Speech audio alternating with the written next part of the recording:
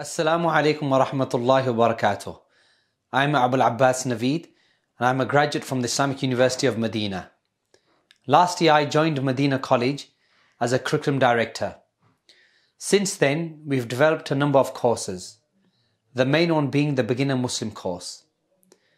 And in the Beginner Muslim course, we've had new Muslims from the UK and outside of the UK, and also Muslims who know nothing about Islam some of them did not even know how to recite the Quran or know the basics of Islam.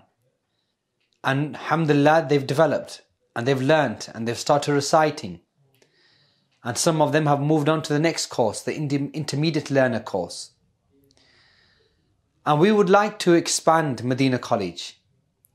And the vision is to expand Madinah College, expand its services and courses videos, and also the base. We have a beautiful base in London and we like to expand to the north of England. However, this can only be done firstly by the help of Allah subhanahu wa ta'ala and through your kind donations. And in this month, the blessed month of Ramadan, we humbly ask you to donate for this noble cause so we can convey Islam and Islamic knowledge to the Muslim masses in the West.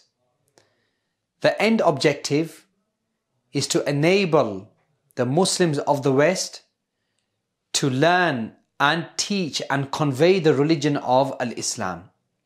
And no doubt this is a noble cause. So we ask you humbly to donate and be generous in the month of Ramadan. وجزاكم الله خير